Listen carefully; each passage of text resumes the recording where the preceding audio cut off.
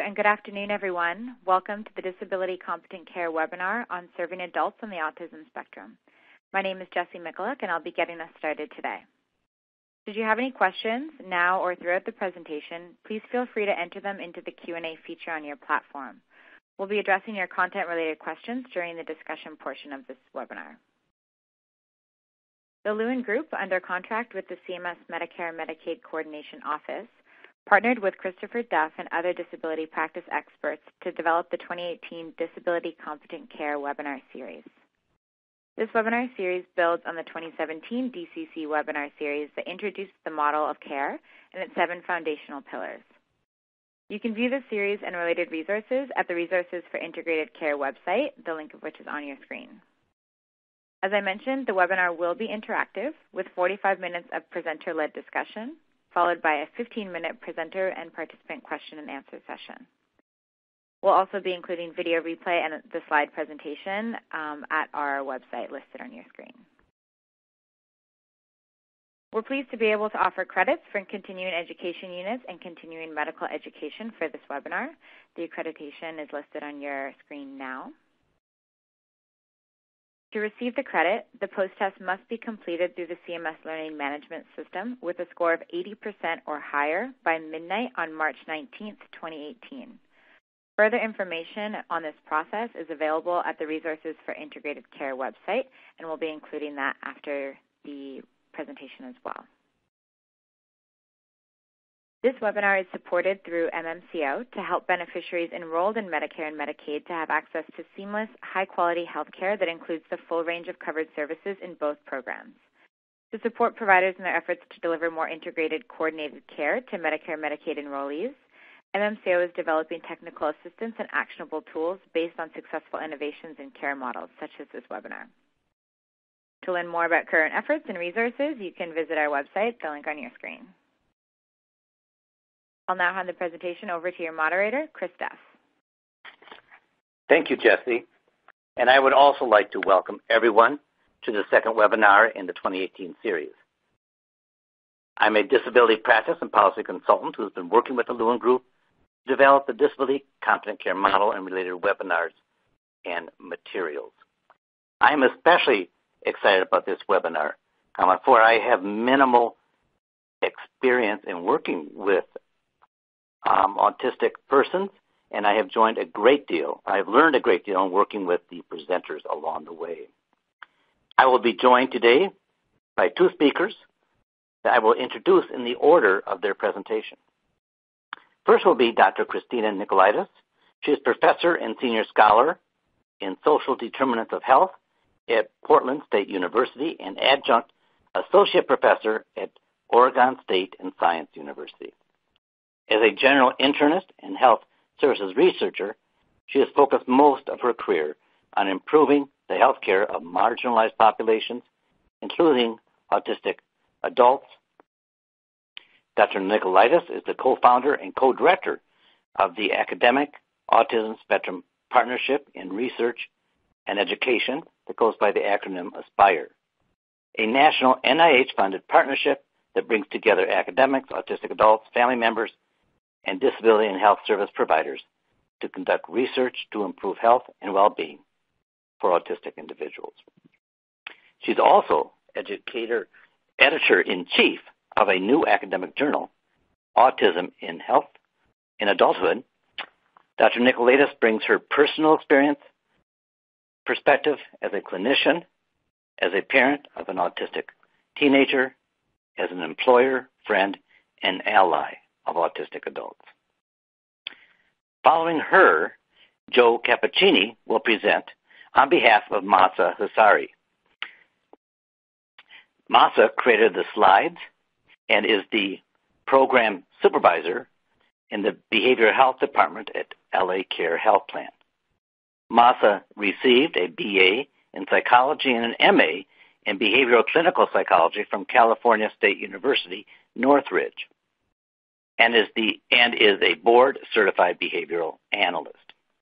She has worked with autistic persons and their families for most of her career as a direct provider of a range of services with autistic persons and their families before she joined LA Care in 2015.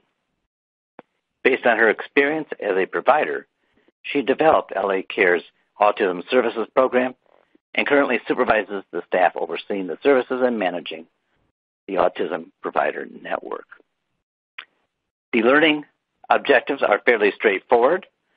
We are focusing today on autism, a common though not well understood population by those of us in the, in the healthcare field or plans, as demonstrated by the number of requests we've had over the last few years for this topic.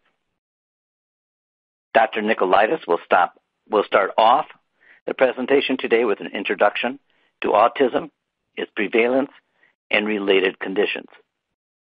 Next slide, please.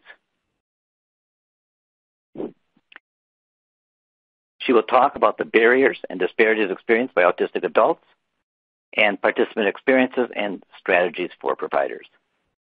She will introduce a great tool she and her colleagues developed to help participants and providers with their healthcare experience.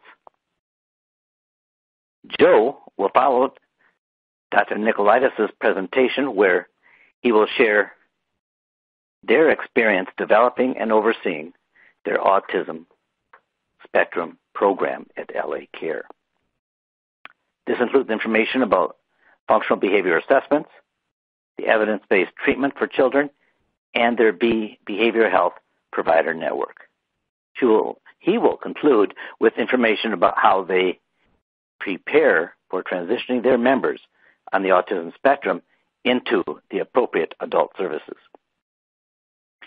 Before handing this over to Dr. Nicolaidis, I wanted to make a note on the differing perspectives and even philosophical approaches you will hear from our two presenters in their work with autistic persons and their families.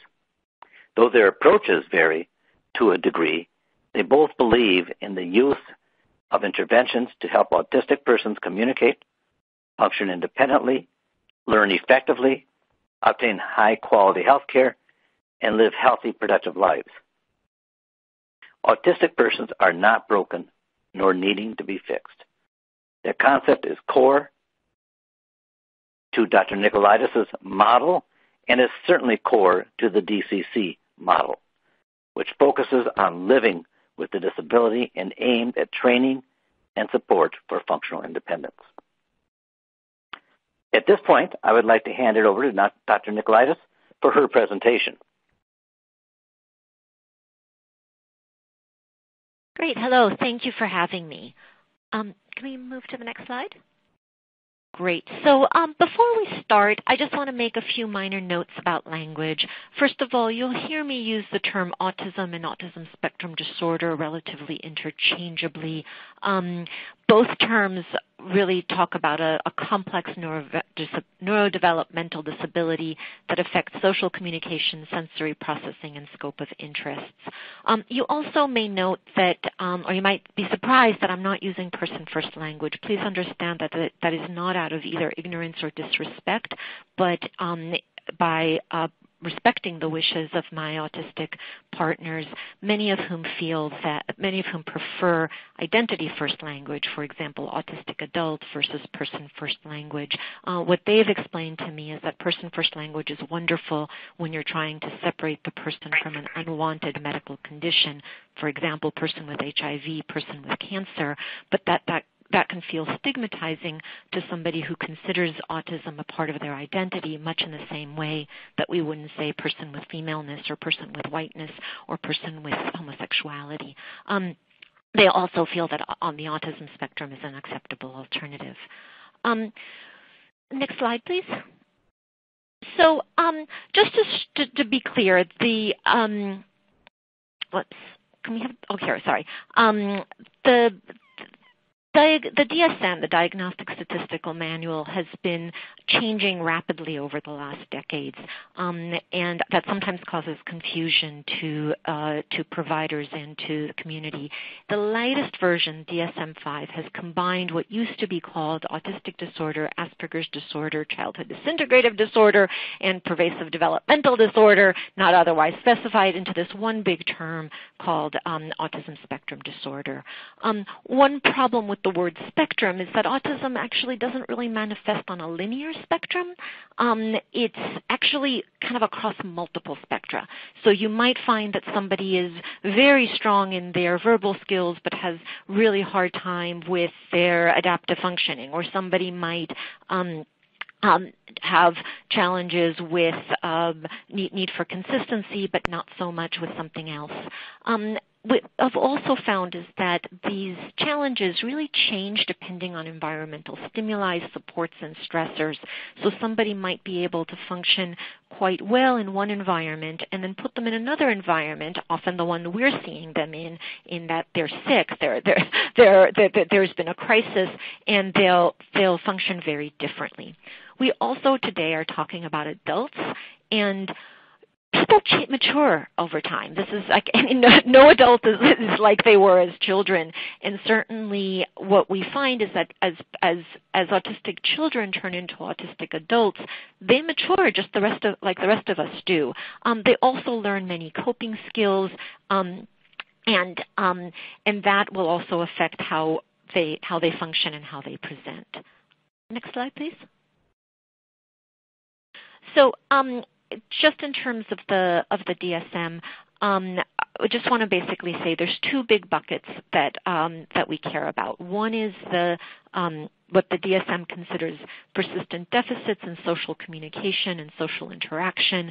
These are things um, that might, as an adult, manifest in challenges in understanding nonverbal communication or um, figuring out when it's their turn to speak or in understanding the um, social uh, cues that might present in their work environment. Um, or in other situations. The second big bucket is what the DSM considers restricted repetitive patterns of behaviors, interests, and other activities. And that's where we find people will have um, potentially stereotyped or repetitive motor movements, what we call STIMs. Um, they might have um, a great need for consistency or insistence on, on uh, sameness, what the DSM calls highly restricted fixated interests of abnormal intensity or focus, what many of us really in, in academia consider our specialties, but you'll find that adults will often have um, high uh, degree of knowledge and interest in one one or two uh, narrow areas. And then very importantly, hyper or hyporeactivity to sensory inputs. Um, and that can often really make or break our interactions. Um, with autistic individuals is understanding how key the sensory aspects are of the condition. Next slide, slide please. So um, over the, the past few decades, the prevalence of autism seems to have skyrocketed. Most um, most people believe that that isn't actually because something has truly changed, but because we keep changing our definitions and our understanding of what autism actually is. Um, people in the baby boom generation didn't even have a chance to be considered autistic as children because it wasn't even in the DSM. Our Gen Xers, um, we didn't even have Asperger's in the DSM until 1995. Um, so as you can see, we've mostly been uh, looking at, today's version of autism in the children that were born in the late 90s, early 2000s. Um, that group of children has um, grown up now and are entering adulthood, but that doesn't mean that there haven't always been autistic adults there. Uh, a large, well conducted um, population-based study uh, that really just went and did new diagnoses uh, door to door found approximately a 1% prevalence of of autism in uh, in the adult population with no change in age. Um, what uh, we do know is that there's continued underdiagnosis of autism in women of any age and in people of, of color, and that will see probably change. I'm hoping over the next um, uh, next few years. Next slide, please.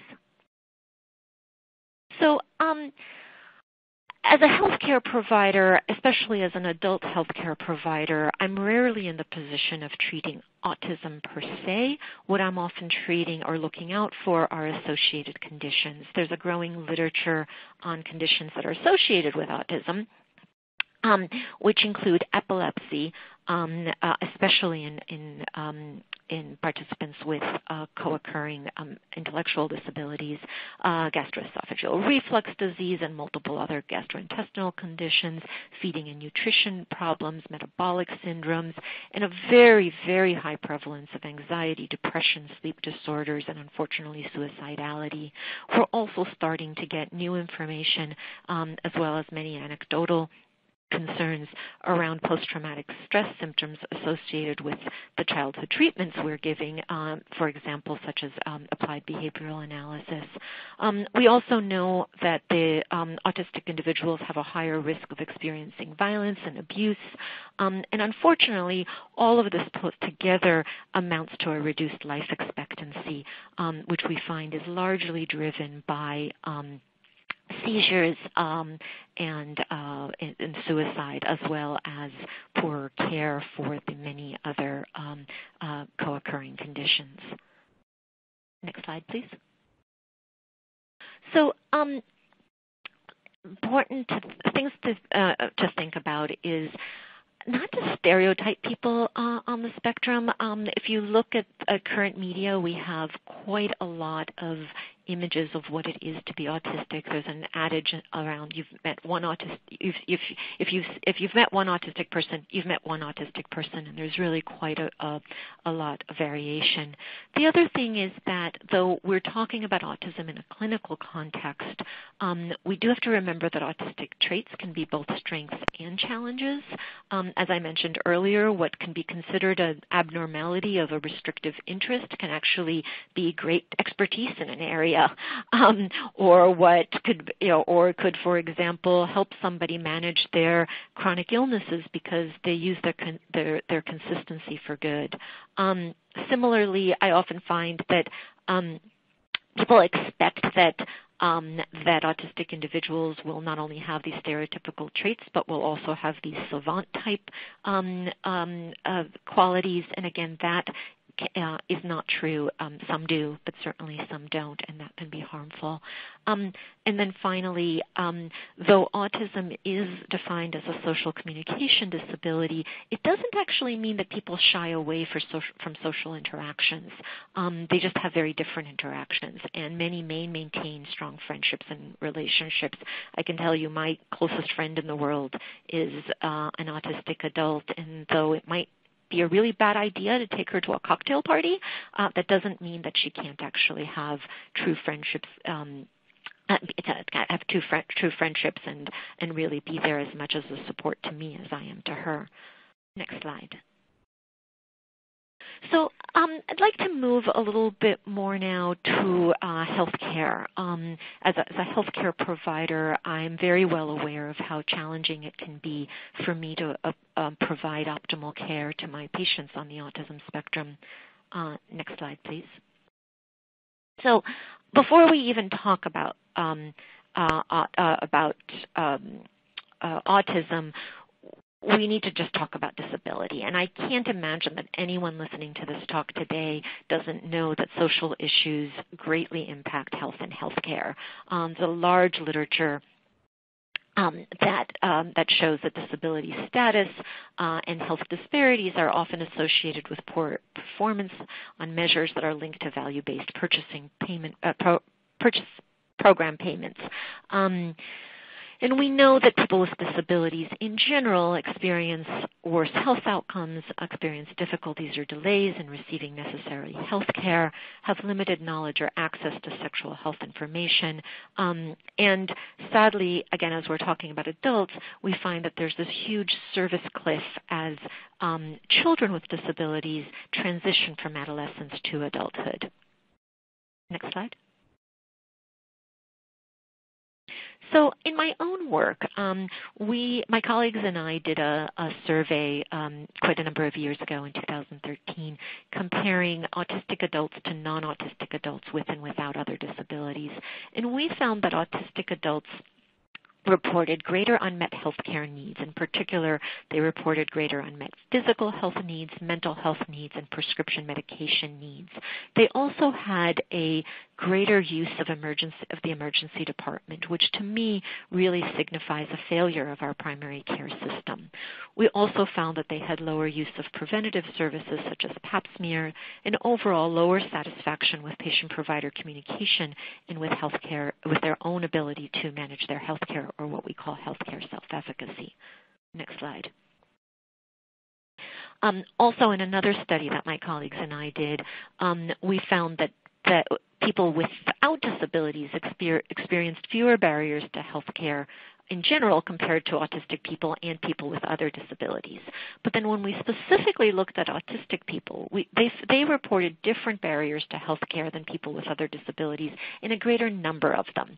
Um, and overall, their, their, their utilization reflected a different pattern of healthcare u- usage.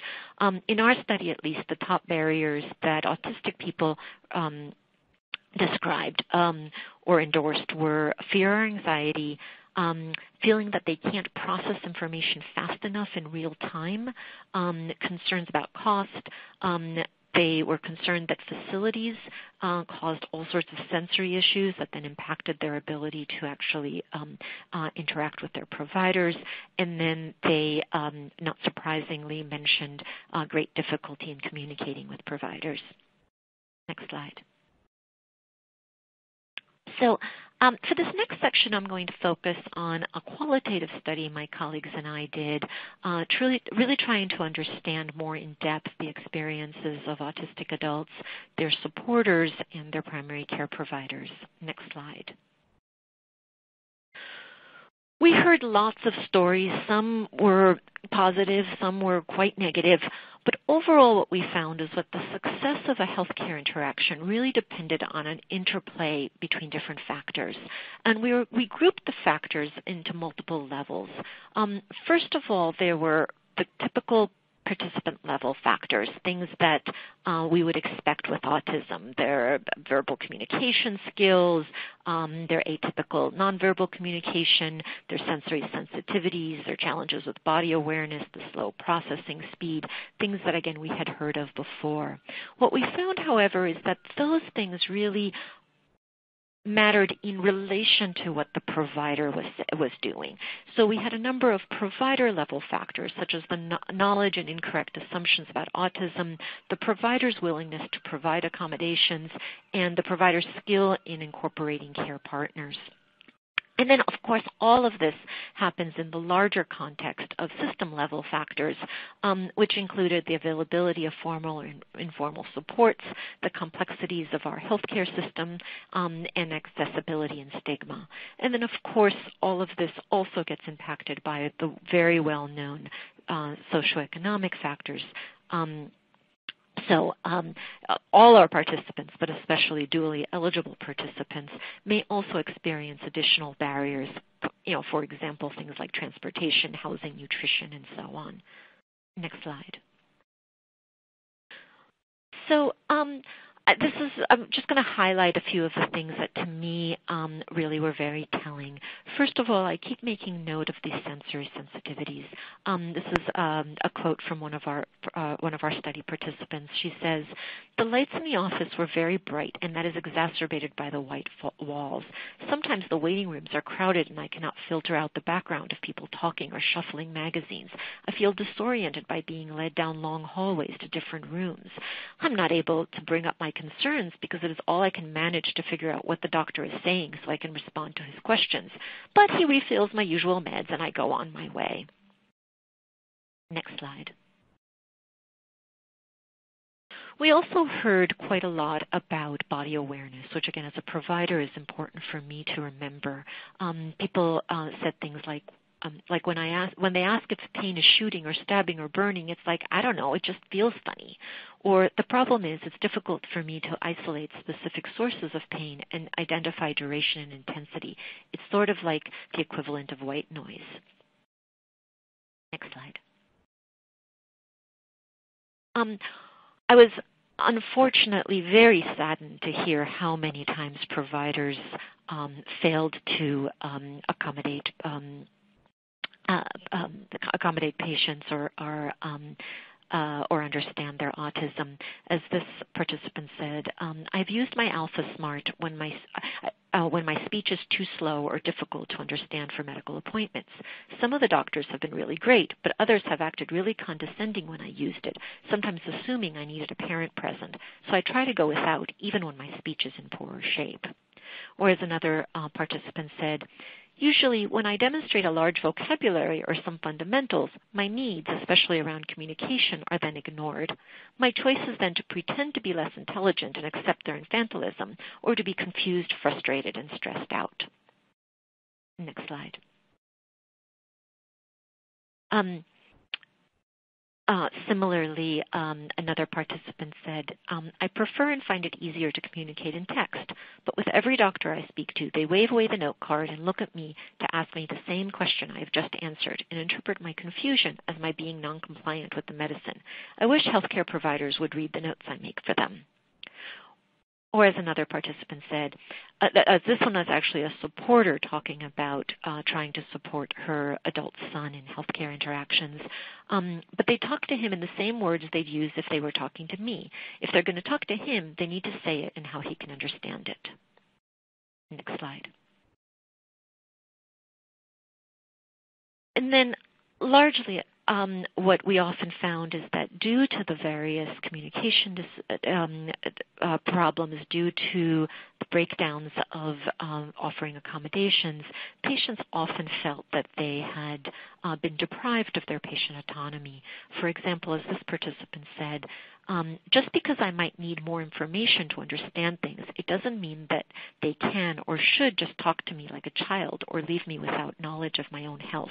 My body is my body, and my experiences and wishes about my body are mine to make. Next slide. Um, I largely work one-on-one with patients in um, in my exam room. However, much of what um, is happening is really outside of my exam room. And I'm hoping that at least some of those of you on this call can actually help with the larger system. Um, we've heard story after story about how difficult it is really for anyone to manage our crazy health system, but especially for somebody with executive functioning um, challenges or other things related to autism. Um, as this young woman explained, um, I wish they understood how easy it is to get confused with all the administrative hoops a patient has to jump through to get help.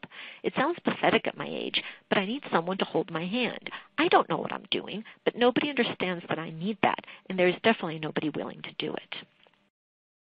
Next slide. So um, we've heard a lot from patients about their um, concerns with the healthcare system. As a provider, I can tell you part of it's also that we just don't get the training. I, I don't think I had a word about autism in anywhere in my medical school residency or fellowship uh, experience, and that is not unusual. Um, a study done down at Kaiser Permanente in Northern California um, found, oops, I'm sorry, um, found that uh, 77% of healthcare providers uh, rated their um, their um, skills in providing care to autistic adults as poor or only fair. Um, and um, and multiple other studies have have shown that providers really don't have the, the the, the skills, training, or confidence in, in taking care of their uh, adult patients. Um, the other thing I can say as a provider is very challenging is that people on the spectrum really vary so greatly. So it's very hard to have, you know, a short little training say, okay, this is what you have to do to take care of an autistic adult, when in fact one of my patients may be, you know, an engineer and the other one of my patients may be nonverbal and um, living with 24-hour support. Um, so um, it's really important for us to think about um, individualized patient level um, accommodations, which is what we'll be talking about uh, further uh, in the talk today. Next slide. So again, given the context that we can't just make accommodations that work for everybody, I still wanted to um, give some examples of things that health providers and health systems can do. So for example, before um, a visit, it's perfectly reasonable to ask staff to inform the participant about what's likely to happen during the visit, enable the participant to, pr- to procure pictures of the office and our staff. For my own child, when he was younger, I would just go the day before or the week before and take pictures of things, and just having been able to show him the pictures um, made such a difference in him being able to tolerate a visit. Um, generally, we do, you know, I know time is money, and I know time is is is really challenging, and I struggle with time, but we often do need to schedule longer appointments. Um, we also avoid rescheduling appointments. Something that might be um, just a minor deal to somebody else may be really a huge problem to a patient or to a participant who really needs consistency. Um, in the waiting room notify the participant about how long they'll wait um, and um, and check in with them, and then encourage participants to prepare notes in advance about what they wish to discuss, um, and ident- identify and, and, document participants' sensory sensitivities. So, for example, when um, a medical assistant is rooming a patient, they can they can room them in a room that has natural lighting as opposed to the fluorescent lights, which are such a problem for many of our um, autistic participants. Next slide.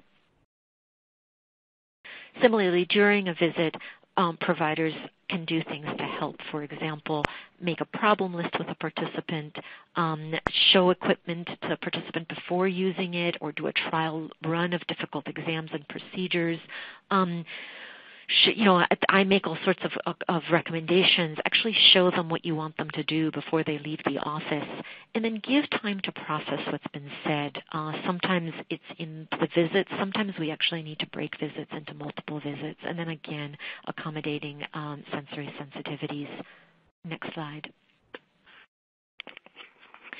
So um, I'm going to move on to talking about um, the autism, the AASPIRE uh, um, Healthcare Toolkit, um, which is uh, something we've been working on as a team now for several years. Um, can move on to the next slide. So um, the AASPIRE Healthcare Toolkit is, is was created as a part of this ongoing research project with my research team, AASPIRE. Um, we've used a community-based participatory research approach whereby we as researchers work with autistic adults, people who support individuals on the autism spectrum, and with healthcare providers and disability providers in every phase of the research project. Um, the, the the, we've created a toolkit that is basically separated into uh, two different parts. One is for patients and supporters, and the other is for healthcare providers. Um, and we can move to the next, uh, to the next slide. So the provider part of the website um, is meant for both providers and staff. Certainly, I'm, I'm hoping it would be helpful for um, uh, people who are working outside the healthcare system too in, in, in in supporting people um, with their health care. Um, it offers materials, resources, and practical information to help providers offer high quality primary care. Um, that part of, this, um, of the toolkit is broken down into four segments, including inf- autism information, um, diagnosis information and referrals, um, a lot of details around specific um, uh, strategies uh, and accommodations we can do to care for participants on the autism spectrum, and then some sections about legal and ethical considerations and, and various uh, resources. Next slide. Um, the patient um, and supporter part of the website um, is really intended to help patients um, advocate for themselves as best as possible and be activated uh, to um, to manage the health system. It offers information and detailed instructions, um, um, um uh, all of which has been um, edited very carefully by my team of autistic partners to really make sure that the language is accessible uh, and specific enough to, to, to, deal with the language pragmatic issues that often come up with autism. Um, that part of the toolkit has sections around navigating the health system, staying he- healthy, uh, informing participants about their right in healthcare, and then again, general information about autism, about computer and internet access, and links to reliable medical information. Next slide. Um, also uh, on the on the toolkit are a number of tool of tool of forms and worksheet. Um, these are things that uh, in our in our studies we found participants really um, value. Um, there's worksheets around making an appointment, around what to bring to a healthcare visit, um, how to describe their symptoms, how to make sure that they're following up with um, all their uh, all the, the things that has been recommended. Next slide. And then the centerpiece of the toolkit is what we call our Autism Healthcare Accommodations Toolkit, or AHAT for short. Um, this is um, this is a tool that helps um, participants get the accommodations they need. Um, the participant or their supporter fills out a survey uh, focusing on how they communicate, what supports uh, supporters there are in their lives, and all sorts of um, possibilities around accommodations and strategies. Um, the computer then takes this information and creates a personalized report for providers. Um, and this is, inter- you know, what's interesting is that it actually took us way more time to find a, a, a report that providers would read than anything else. But we do feel like we've gotten something that is very provider friendly in terms of focusing on the actionable things they can um, most do to facilitate care. Next slide. This is an example of the format of it. You'll see there's there's there's particular topics and then there's bulleted lists of very practical things a provider might do for this particular patient, which may be different than what they would need to do for a different patient. Next slide. Um, we tested our toolkit with 170 autistic adults. Um, and we found that the vast majority found that the material was important, useful, and easy to understand. And what I was most excited about is a month after using the toolkits, we were um, um, participants reported fewer barriers to healthcare, greater healthcare self-efficacy, and improved um, participant-provider communication.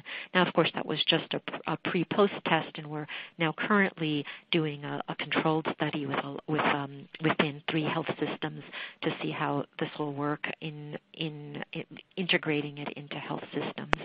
Um, ultimately, the idea is that participants can use the AHAT to consider their accommodation needs and how to, and how to communicate about them um, and how to improve their self-advocacy. This also helps providers understand and more, be more receptive to reasonable accommodations. Um, and um, we've been very careful to make sure that the reports are easily shared with providers and staff or case managers or anyone else who may use them. Next slide. So I've talked about a lot of things today. I think the, the most important take-home points is autism is really common in adulthood. Again, estimated to be about 1% of the population. And even though many of those are undiagnosed, the large cohort of diagnosed children are now reaching adulthood. Um, there's many opportunities for health, the healthcare system to improve our capability to provide adequate care for adults on the autism spectrum. Um, there are tools, and I said I'd love for you guys to um, use the tools that we've made. They've been publicly funded and are available for free um, because we really do um, believe that um, it's important to um, to have uh, greater healthcare experiences for our autistic participants.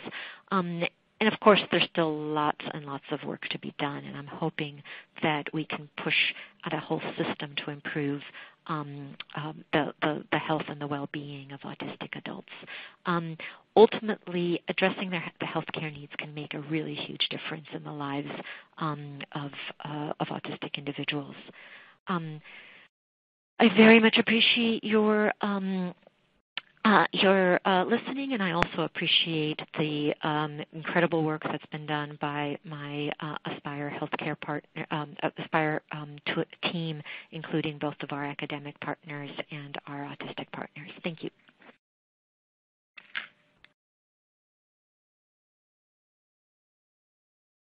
Next slide. Dr. Nicolaidis, I would also like to thank you for your excellent presentation. Um, before I hand it over to Joe Cappuccini from LA Care, I just wanted to talk about slide 44, if you would move on. Um, I wanted to address um, kind of the um, insurance side in order to make it broader than just California. Um, so um, this is uh, comments about uh, benefits related to persons for autistic persons. All states are mandated to provide ASD service to, services to those under 21 diagnosed with autism. though there are some variants by state by state in terms of the breadth of services, and I'm referring to Medicaid benefits here. If the participant continues to need ASD services after the age of 21, they are generally referred to adult DDID service centers and or providers, and the coverage can vary by individual states. Assuming the ASD benefit is incorporated in the MCO contracts, such as those participants in the dual eligibility demonstrations, they are generally served by the health plan's behavioral health network. So I'll now hand it over to Joe Cappuccini from LA Care, who will speak on slide 44 forward. Uh, Christopher, thank you very much. And as a reminder, I'm speaking as proxy for Masa, who is the um, subject matter expert here at LA Care. So, uh, Christopher, thank you for inviting us. And, and Dr. Nicolaidis, thank you very much for your interesting information. I found it, um, your passion and your, your delivery was uh, very attention getting. So I want to thank you for that. Um, I want to go back to the previous slide, if you would, for a moment, please, and I want to kind of subsidize something that Christopher had mentioned. Uh, first, let's go ahead and cover the first um, bullet point up to the age of 21. Yes, the autism spectrum disorder services are considered Medicaid covered benefits managed by the health plan. But I want to add an additional bit of information that Christopher we did not include on this particular slide, and that is if the member needs more ASD-like services, for example, applied behavioral analysis, the beneficiary is referred to local disability service centers. For instance, here in LA, we refer to that, or we call those local service disability service centers, we call them regional centers. So I just kind of wanted to, to kind of backfill that previous slide that Christopher had alluded to previously. So thank you for that. Let's now go to the next slide and I'll give you an overview of who we are here at LA Care Health Plan. Um, we are the largest national publicly operated Medicaid health plan, and we've been servicing Los Angeles County specifically since 1997. Um, we've identified our mission to provide access to quality health care for LA County's vulnerable and low-income communities, as well as residents, in order to support the safety net required to achieve those purposes. It's our legacy that we have built by developing new programs, fostering innovative partnerships, and exploring ways to provide better care at a reduced cost. Next slide, please. So when we talk about LA Care's ASD program, in late summer of 2014, we'd identified the need for a specific program to meet the needs of providers as well as medicated participants as they assume the responsibility of autism services. So as you, as you already know, most current ASD program staff are former ASD practitioners. So a variety of perspectives allows our staff to better understand and meet the needs and challenges of the participants. And just to review some of the key elements of the ASD program, we do apply open communication. It is an evolving and updating resource and process, resources, processes, and it is requiring a continuous training as far as attention to updates, both medical um, and, and regulatory. Next slide, please. The LA Care staff within the ASD program include five board-certified behavioral um, analysts whose responsibility it is to review the treatment plans, determine the eligibility, as well as ensuring the coordination of care. We have one dedicated care coordinator that addresses the emails as well as the phone calls coming from the community, the hospitals, the vendors, as well as other multiple entities. We have one regional center liaison who, who addresses any issues and concerns that are related to regional center services, as well as physician provider groups, or what we call PPGs, such as occupational and physical therapy, speech language pathologist services, etc. We have assembled a team, a dedicated team, a specialized provider a specialized provider network team that focuses on the onboarding the new physician provider groups and supporting them with business and administrative matters. We do that on our end. Next slide, please. As far as the functional behavioral assessment is concerned, once we receive the request for autism services and receipt of diagnosis from a physician or a licensed psychologist, the participant is then referred to an applied behavioral analyst, analysis, analyst, and that are and a for a standard functional behavior assessment, which includes indirect assessment as well as direct assessment. The interviewing of the caregiver where that behavior occurs, the observing of the participant in their own environment, and then working with the participant to find out the strengths and weaknesses in their communication or motor skills, their play skills, and their adaptive and social skills. Next slide, please. As we continue through the behavioral assessment, the goals are designed to operationally define the behavior and measuring the baseline level by identifying the, the frequency of the behavior, how often it happens, the duration of the behavior, how long it lasts, and then the intensity of the behavior. Is it mild, moderate, or severe? We also uh, continue the assessment to determine the reasons why the participant is engaging in the problem behaviors, also known as identifying the function of the behavior. Then we design evidence-based treatment plans to address the identified problem behaviors and or developmental delays. And then we continue on by recommending goals and ABA-based treatments to the health plan. Next slide, please.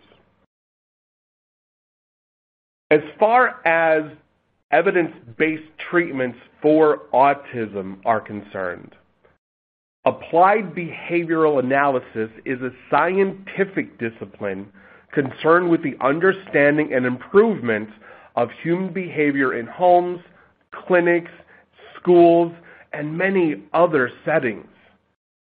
The goal is to develop effective ABA-based treatments that will support improving problem behavior socially significant in the members' lives.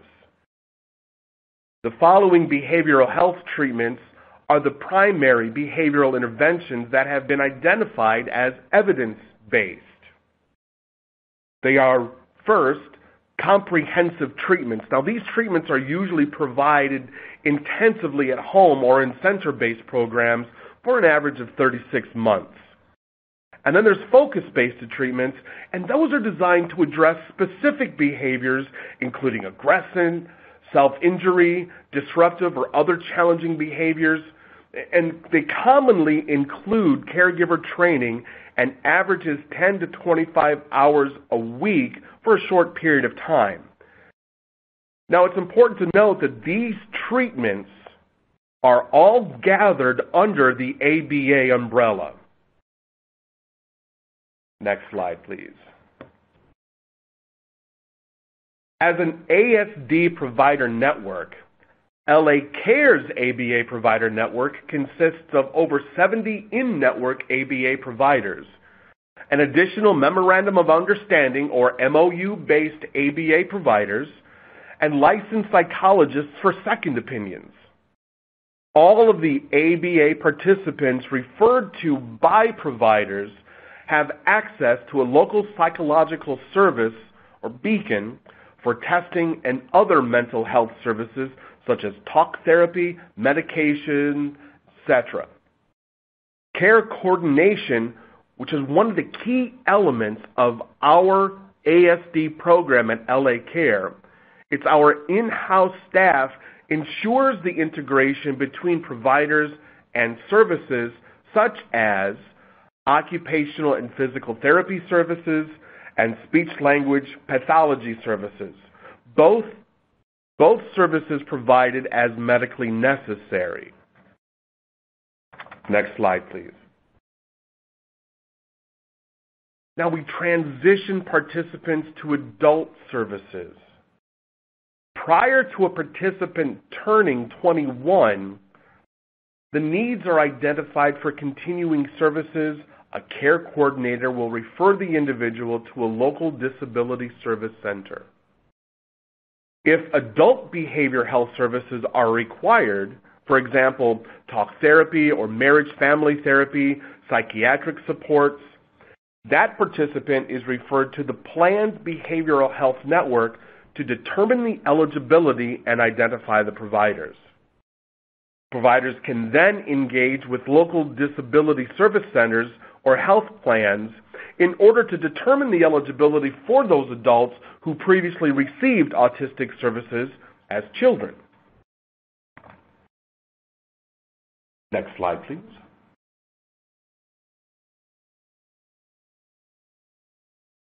A question had been posed to us as well as others, what did we learn?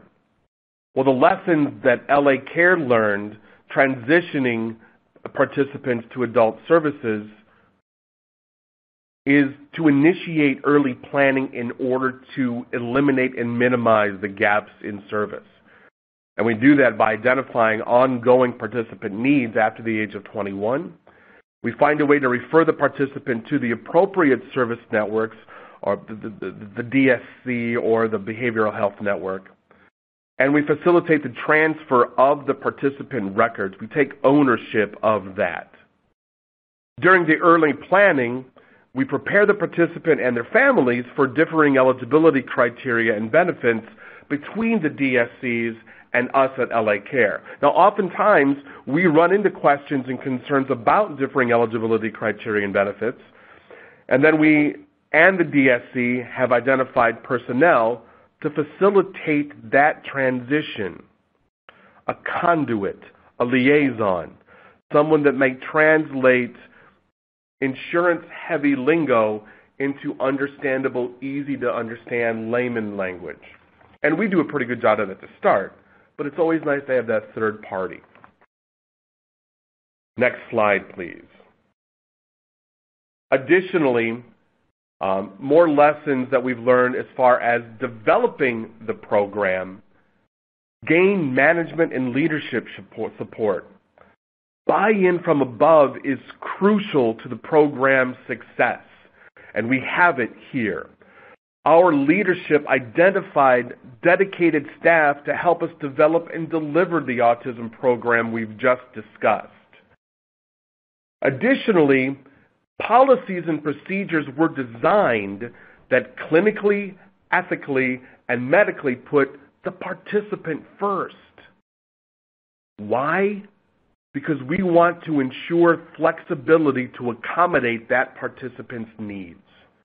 We want to be open and we, we strive to be open to new information such as clinical information, guidelines, policies, regulations ad infinitum and we're constantly developing and updating effective workflows, process, as well as staff training to optimize consistency. So that being said, on behalf of MASA, myself, and all of the dedicated staff in our behavioral health department at LA Care, we want to thank you for the information and your time and attention. Thank you, Joe. I appreciate that very much. Well, well presented. Um, I would like to now apologize to the larger group that um, we have successfully eaten up over half the time for the Q&A. But please keep them coming in because we will respond to you. If we don't get to them all online here, we will respond to you separately. I promise that. An interesting question has come in that I wanted to ask. It's from um, um, an ambulance service. It's actually um, a Dr. End from an ambulance service in Washington State. Um, this is the second time we've gotten questions from an ambulance service, so I'm pleased that they're beginning to get engaged with this. The tools, do tools exist to ed, to help educate ambulance providers or EMS professionals in accommodating autistic adults? and kids given urgent situations? I think that's a question best for uh, Dr. Nicolaidis. Yeah. Um, yeah, thank you for that question. And um, this has come up multiple times. I'm not aware right now of tools specifically aimed at emergency personnel, um, but I so, and, and I have to say, I was an EMT for years and years before going to medical school. I really completely appreciate this and understand um, how much it's, it's needed. Um, I would say that we're much of what's in the toolkit for primary care really could be also helpful for um, for emergency personnel. Um, because this was a research uh, study, we had to be very specific, and we did it specifically for the primary care system. But I would say, you know, 80% of the information would also be useful for um, uh, for um, people in the EMS uh, system. That being said, I think it's an important need, and we certainly have it on our list of things to do to try to make uh, supplements that are specifically for uh, EMS. Great. Thank you very much. Marissa um, from Anthem Health Plan, can you provide a little more detail as to why diagnoses of women, including those of color, have a lower diagnostic rate than those of men. If either I, you could respond to that, yeah. That's probably mine too.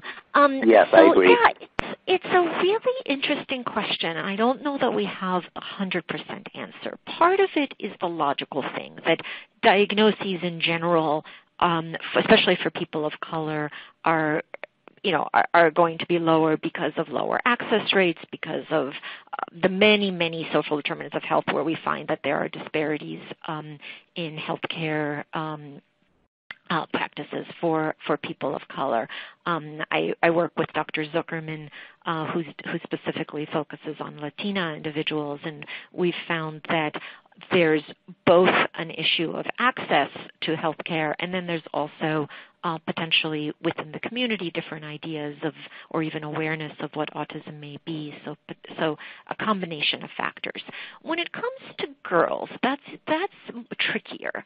Um, and my personal opinion is that m- much of the of our image of autism has been focused on how it presents in males, and we find that there are some gender differences. Um, so when we've created a, a, kind of when you've created a definition that is based on the characteristics that are more commonly seen in in males, it then kind of becomes a self-fulfilling prophecy where we don't see it as easily and we don't recognize it as easily in in girls. Um, and we find that girls have you know, who, who are diagnosed have more severe intellectual disabilities. They have they, they are diagnosed at older ages. Um, we're again, many of us are very interested in this topic and are working on it, and there's new research on it. My own speculation would be that 10 years from now, we're going to have a very different di- definition of what autism even is for any gender, and that it'll hopefully also be a little bit more inclusive of how it presents in women. Um, but it is it is an ongoing uh, issue of, of great concern right now in the in the research world. Thank you both very much for the presentation. I appreciate it. I have learned a lot just speaking for myself. Um, at this point, I uh, need to hand it over to Jesse to wrap things up. Thank you, Chris. And yes, thank you to our presenters today um, Dr. Nicolaidis, and um, particularly her AASPIRE team, the funders of which are listed on this slide here. And of course, to our presenters from LA Care, Mahsa Hassari, thank you for your work, and Joe Cappuccini for the presentation today. Um, I also want to remind people to keep sending your questions in. We will be sure to, to address all of them with the help from our presenters uh, going forward so we can get you that accurate information and have those posted. Um, also, we have another webinar next week on palliative and hospice care for adults with disabilities. Please join us at the same time. Um, if you've registered for this webinar, you're registered for that one too. Um, so you can just follow the link um, in the email confirmation that you've received. For more information on obtaining those CEUs and CMEs for today, um, you can follow uh, the link um, to CMS Learning Management System, and we have all of that information at our Resources for Integrated Care website. Um, as always, your feedback is very important um, and essential to developing new trainings and resources. So there will be a brief survey that will appear automatically on your screen when this webinar ends, and you can send any additional comments that you have, as always, to our inbox at ric at lewin.com. That's ric at lewin.com. Thank you again, everyone, for your time today, and have a great rest of your day.